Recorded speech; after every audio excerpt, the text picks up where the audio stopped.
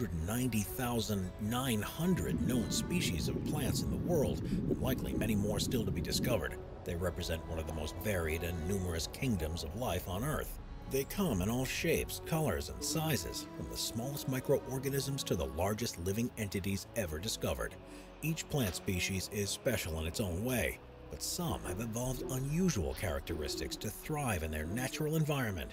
With that in mind, let's take a look at the top 15 most unique flowers known to science. Number 15. Flame Lily Native to tropical regions of Africa and Asia, but now regularly grown and cultivated in Australia and the Pacific too, Gloriosa, which is more commonly known as the flame lily, is actually a group of 12 different plant species which each share a stunning appearance. Because of where they evolve, these deciduous perennial flowers have adapted to an extremely wet summer season, followed by a long period of drier weather.